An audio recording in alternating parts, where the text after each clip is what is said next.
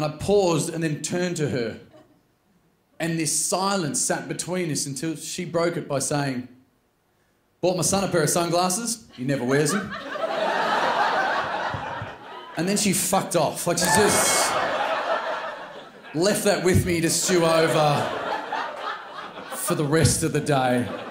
Just a conundrum I had to unpack for some reason. Australians, you always act like we're laissez-faire, but we love a rule. We love a rule. To make that note, but put that, put a sign on it. Put a sign on it. That's an OH&S. Don't do that. Don't do that. Like, do you know how you stop an Australian? You just put a traffic cone in front of them. Just. it's orange. What are you going to do? I can't go further. I don't have me high vis. I wish I could. I wish I could. And you realise when you grow up in that environment, you're indoctrinated into it. Because I was over in America and I was staying at a hotel and um, uh, there was this pool party happening. So there's a pool and there's a bar right next to it, DJ playing. Great, fun times. But I realised I could get out dripping wet and just order myself two sweet cocktails. I'm like, why wouldn't I take advantage of this sucker? So act accordingly, get to the bar, order the drinks, and I'm so glad I have a room full of Australians who understand the situation I found myself in because I was a little taken aback when those drinks returned to me in, um, in cups made of glass. Uh,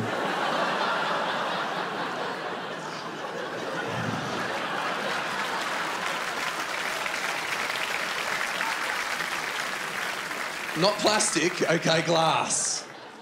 And I'm outside, and that's bad water safety. You know that. You know that. And as a fully formed adult, I looked another adult in the eyes and I said, Can I take these into the pool? and he didn't answer me straight away because he was looking for my carer. And he finally said, Yeah. And I swear to God, this is my response. I said, We're not allowed to do that back home.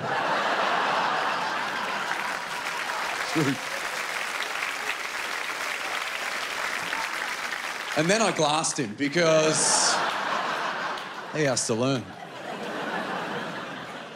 But where I live is like so many gentrified suburbs around Australia, inner city suburbs. They used to be a bit rough, now they're turning over. But what I like about my suburb is that its past still strikes a long shadow. Because I can let you know, when all you good people, most of you here this evening go to work, I can let you know that's when the interesting people come out to play. And because I'm a stand up comedian and I don't have a real job, I get to meet them. And I remember I was crossing the road one morning, I was standing there waiting, and there was a woman in my peripheral. She would have been, I don't know, 60, 65 years old. She was like someone's lovely grandmother. And I could see her, and she was coming closer and closer towards me. I just assumed she was crossing the road like I am. But then she stopped right next to me. I did not know this woman. And I paused and then turned to her and this silence sat between us until she broke it by saying, Bought my son a pair of sunglasses. He never wears them. and then she fucked off. Like she just left that with me to stew over for the rest of the day. Just a conundrum I had to unpack for some reason.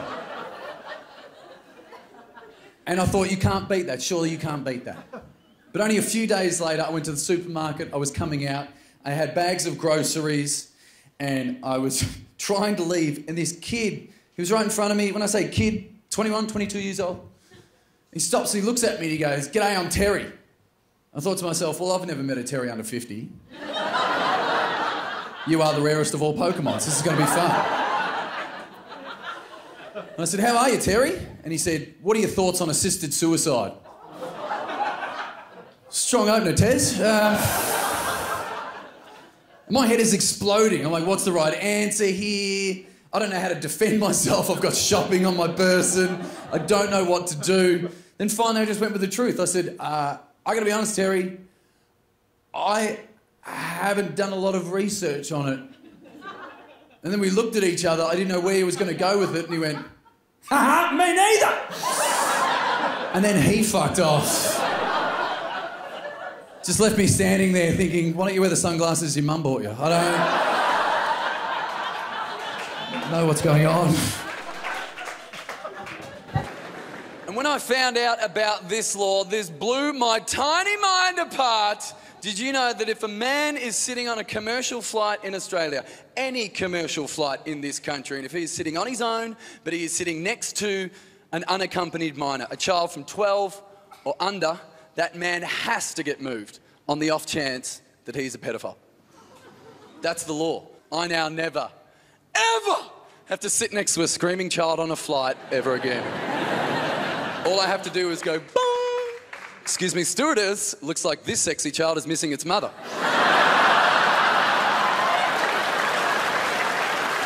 Guys, I've been Dave Thornton. Thanks. I live in Brunswick in Melbourne, okay, that's where I live. Uh, it's a very alternative suburb. I dearly love it, it's great. But this is the thing, it's a very alternative suburb, so all the kids, right, they're alternative because their parents are, and you can clock them. It's great. They've all got vegan leather shoes, and you know, you have those stinted conversations where you're like, oh, do you like the Wiggles? And they're like, I'm not allowed screen time. When I do, I have to watch Four Corners. Like, oh. this is fun. Strap in for foreign correspondent. This is good. Um, and I was at the park with my, uh, with my two-year-old.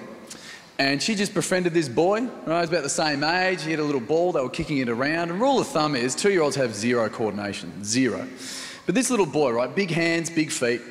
And, uh, and he was just kicking the ball around, catching it. It was unbelievable, right? And I just said offhand, I'm going, oh, have a look at this little unit. He's going to grow up to be a gun footballer. And his mum, who I just met at the park, stopped dead in her tracks and said, well, I hope not.